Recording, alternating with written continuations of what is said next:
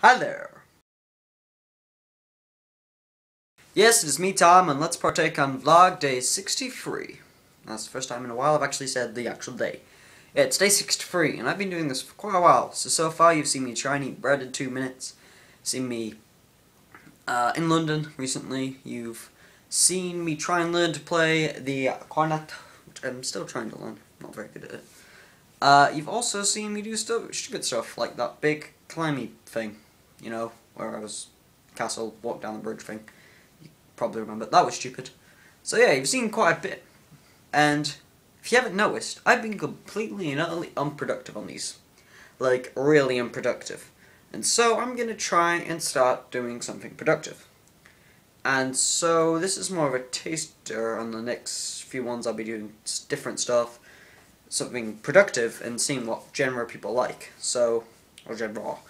So, today, as you all know, I do visual effects. So I'm going to talk to you all about visual effects. And uh, today, I'm going to basically explain programs. Uh, so, first program is the editing program that you'll all need, like the editing. This can be anything, if you're a Mac user, Final Cut Pro, or iMovie, or if you're a Windows user, Adobe Premiere Pro, Sony, not Sony, what's it called?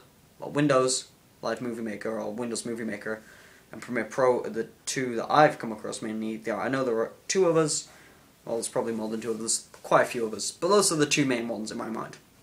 Windows Movie Maker, I wouldn't recommend that for the only reason of I don't use it and I don't and all the times I've had to use it I didn't particularly like it. I don't think you have that much control. Uh, and I hate exporting in that program. I just hate exporting in that. So I would opt for Premiere Pro, which you can obviously buy or get somewhere else. So yes, uh, Premiere Pro is an Adobe product, of course. It's very, very good. I use it to edit these vlogs and I, I use it to edit everything now. Um, but it's in the end just an editing program. And if you want to do visual effects, well then you'll start need to go on to visual effects programs. Um, a composer, and probably the most well-known and best visual effects programs there is, is of course After Effects. And you've probably heard me talk about this before. Uh, After Effects is amazing. I love it. I've been learning it for about two years now. Two? Yeah, two years. It's really, really fun. Uh, but you can do great things with it. You can do anything if you want. If you really put your mind to it, it'll take a lot of work, but you can do nearly anything. Um, but that's like 2D. So it's only 2D, like gunshots and stuff like that. If you want to go into 3D models like they do in Transformers or liquid stuff, you'll need other programs. And for that, for main 3D models, main 3D animations, you will need, uh, in my opinion, Adobe 3ds Max, which is absolutely terrific and you can do a lot of stuff with it. I'm currently learning it. Or Adobe what, did I say Adobe? Autodesk. Autodesk 3ds Max. Or Autodesk Maya. Or Maya. That's a really good program too. I don't use that that much, but I prefer, I've heard it's good and it can produce brilliant quality. Uh, so those are the like big ones, they're the boxy ones. But then if you want to go into more modeling and texturing, you want Autodesk Mudbox or ZBrush.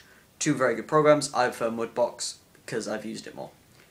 Um, if you want to go for animations, I think it's Softimage or Motion Builder, both from Autodesk. They're very good for animations and movements and everything.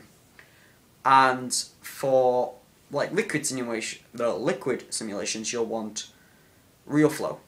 I use RealFlow. I'm learning how to use it. It's absolutely amazing. These are all programs I'm learning at the moment, so you'll hopefully see me use them soon. So those are the basic programs. Uh, so in my opinion, get Premiere Pro, edit a video, and then for the visual effects shots, open them in After Effects, and then if there's a um, 3D model you need, open 3ds Max, make the model, import into After Effects, color correct it and everything, which I'll get into more another time, color correct it and composite it properly into After Effects, and then put that back into Premiere, then use Premiere to render all of it, and boom, you've got a little video. It's cracking. Uh, yeah, so that's me talking mainly about the visual effects programs. I'll get onto more visual effects, like, in depth on them more later. Uh, today is day 63, and it's the end of the day. Goodbye.